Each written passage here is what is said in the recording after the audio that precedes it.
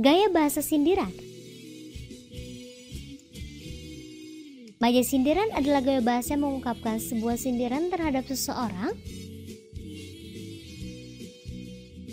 Jenis maja sindiran adalah satu. Ironi merupakan jenis paling halus dari maja sindiran untuk mengungkapkan sindiran halus, yakni dengan menggunakan kata-kata yang bertentangan dengan makna sesungguhnya.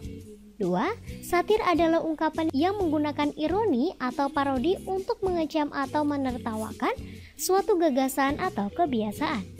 Tiga, Innuendo adalah bentuk sindiran bersifat mengecilkan fakta sesungguhnya.